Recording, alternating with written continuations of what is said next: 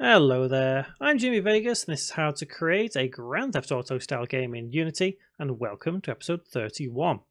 In this tutorial we are going to add in some fonts for some of our UI elements and we're also going to start looking at creating a script which will allow us to control what hints are displayed in our top left box on screen. Don't forget click the subscribe button and click the bell icon as well to stay up to date with every tutorial still to come in this series and everything else on game development on my channel. With that in mind, let's get to work. So first things first, I think we should create a new folder for any fonts that we store in our game. Usually a game will have quite a few different types of fonts. It'll usually have a main font for something like maybe subtitles, one for on-screen display, and you know, a game can range anywhere from three fonts to about 20 different fonts. Not sure how many we're going to have throughout the development of this, but in this tutorial, we're going to bring in two different fonts. So let's right click, create folder. We'll just call it fonts. So I'm going to bring in that classic Pricedown font, which is iconic to the Grand Theft Auto style. And I'm also going to bring in a bit of a squiggly style font, which is going to be for our locations, which we'll end up putting in the bottom right side of our screen. So I'm going to take both of these and bring them into Unity.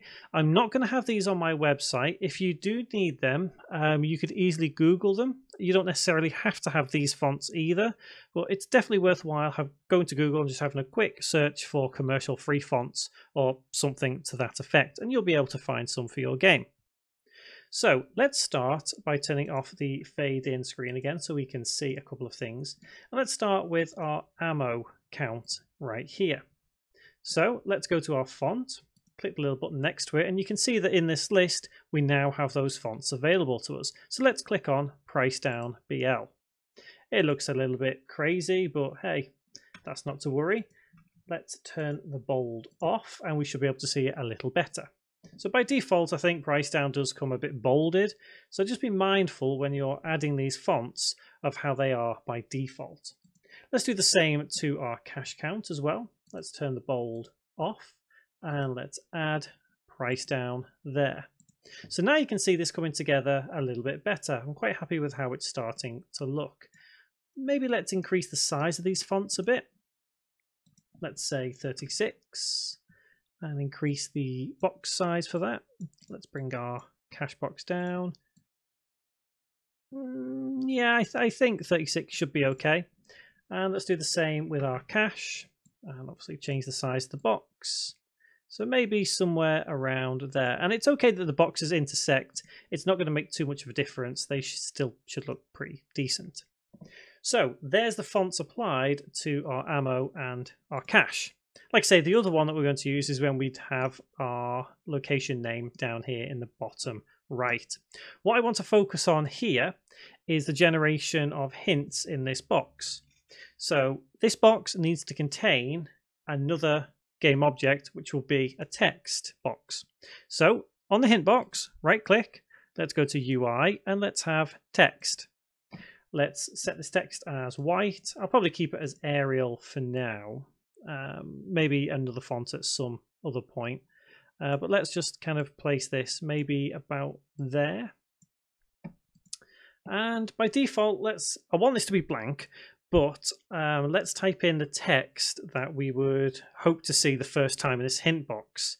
So let's say that it's going to tell us mission start points can be found by searching for the glowing orange points on your map. So it would look something like that in the game view. I think the font needs to be a little bit bigger, so maybe let's have that as 20. Maybe that's too big actually. 18. And how is that looking? Yeah, okay. I think we'll stick with that. If you want yours to look a little better, which I'm sure you do, then just spend that little bit of extra time refining it. Obviously, I show you how the mechanics work for a lot of these things. I don't refine as much as I should because I don't want to waste the time in the tutorial. Um, actually, while I'm here, I'm going to rename that cylinder as well. Uh, let's rename that to mission 001 underscore start. So now we know what this is going to say, our text box. Let's create the script so this comes on and off. And I think the best thing for us to do is probably create an animation for this so it kind of fades on screen and then fades off again. So let's go to our animations and let's create a new folder. And we'll call this one UI. So any UI animations that we ever create should be placed within this folder. So let's start with our text and let's rename this to hint text, just so as it makes more sense. And let's bring our animator down. Um, where's animator? Not animator. I need to add it, don't I? Add tab and animation. There we go. I'm not sure why it disappeared. Doesn't matter. So let's create the animation for this text. So by default, we're going to want the color to be completely off on the alpha. So let's have it off before we create that animation. So create, and we'll call this as hint fade. And we will start by pressing record and setting the alpha back to zero as the first keyframe, which is good. So we'll let this fade in over the course of a second. So at the 60th frame, we want our text to be completely full on the alpha, 255. Now we have to determine how long we want this hint to be displayed on our screen. I'm thinking probably about seven seconds. So it'll fade in for one second, display for seven, and then fade out for another second. That's the plan.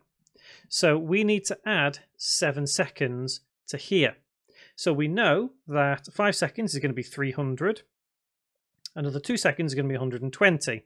So that means we need to add 420 frames to this. Simple math, so that's 480. So by the 480th frame, we still want that alpha to be 255. So let's set it back as 255 again. And you'll notice I do that just so as the number changes and then sets to 255. That's just how the animation works. So then by frame 540, which is the ninth second, the alpha is all the way back to zero. Let's press that record button, head back to our project, and on here, we just need to change the loop time off. So in a little while, we're also going to add an extra animation to this, but it's going to be an empty one because we need to be able to control when this animation plays. But for now, Let's just see how this will look when the hint is going to display. So mission start points can be found by searching for the glowing orange points on your map. It's good, and it disappears. So far, everything is looking a-okay.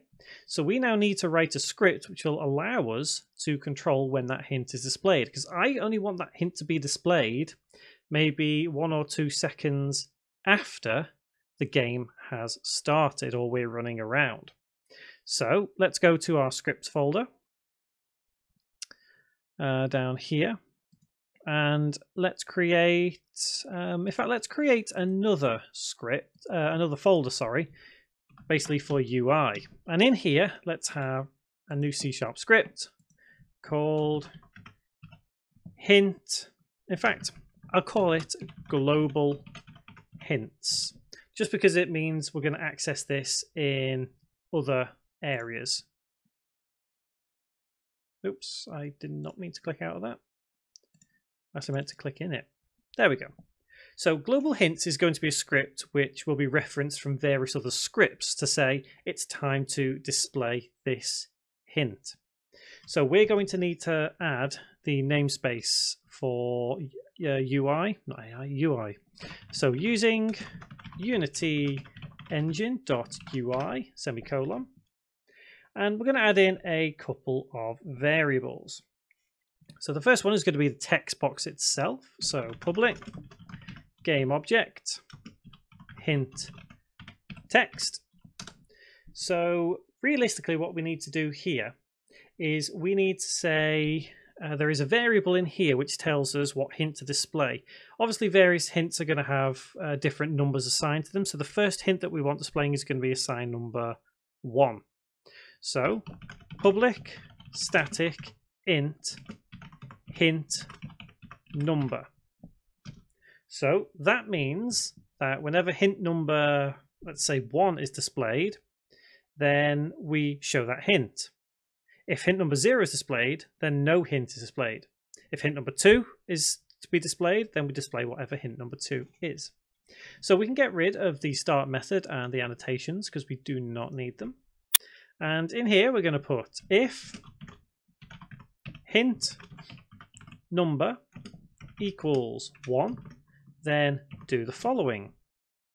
In fact, I'm thinking, should we maybe put a bool we might put a bool. Let's see how this works out first off. So first things first, when hint number is equal to 1, we'll set hint number back to 0, which means we can't repeat this process. So that now means that hint text dot get component spiky brackets text open close bracket dot text equals and what I'm going to do is I'm going to copy the text that is in there. And then I'm going to delete the actual text that is in there. So this box is completely empty right now. The only text that ever displays in there should only ever be done via the code. So we're saying that that's the code, which is good, perfect. It now means that after, um, trying to think, next frame is going to be we need to start the animation, don't we? So hint text dot get component spiky brackets animator oh close bracket dot play and in brackets and quotes the name of our animation and I'm actually going to copy the animation which is hint fade because any typos will mean that this will not work so it's always good to copy and paste the actual um, name itself so what's happening here is that we are saying, yep, number one, this is hint number one, play it. So this will only happen once. So next thing to do is if we head to our animator for the hint text, we now need to create that um, new animation, which is new state, and then make that the default. So that now means that we can only play this when it's called via a script. So if we head back into Unity and make sure that this script looks okay, so if it changes to 1, then it changes back to 0, but then it still does this and still does this. So let's save our script. And I will put this on the website. If you have any problems, you can go download it there. And let's have this on the sequence holder object. So remember this AA opening that's going to be the script that we can probably add in the change for the hint to display. So for now, let's add in our global hint script on here and add the hint text over here. So if we press play, nothing should actually happen with our hints. Perfect. That's good. So now let's control when that hint actually appears. So we can do it inside this AA opening script. So let's double click to open. And remember, this is the sequence of events that plays. So what we can do after this is when we fade back in, let's copy that line of code to wait, and then we'll wait for another, let's say, four seconds. And then after four seconds, we will say global hints dot hint number equals one semicolon, and save. So what's this doing? After we've played that fade in animation and waited four seconds, we'll display that hint. So let's head back into Unity. And I am going to add the fade in back on, save my project, and I'm going to press play. And hopefully, fingers crossed, we should see all of this work as intended.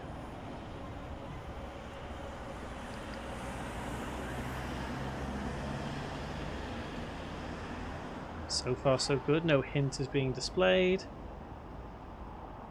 And we should see it appear any second. There we go. There is our hint appearing on screen. Start points can be found by searching for the glowing orange points on your map. Right there. So, we now have a way of controlling the hints that we can display on screen. So obviously this is going to become a bit more advanced as we go forward through the series. For example, if you've not done something like if you've still not found the orange circle, that hint will display again after another two minutes or something like that. So, I mean, you guys probably could work with that if you wanted to, but that's something we will deal with later on in development anyway. So, next tutorial, what we're going to do is we are going to deal with those locations. So, what I would like to kind of do, I'm trying to think the best way of doing this, is so we'll get the text in there for location name, and obviously we start um, at whatever location we are at. And when we walk around, maybe around the corner to a new area, it displays a new location. That's the plan anyway. So, until that next tutorial, guys, thank you very much for watching.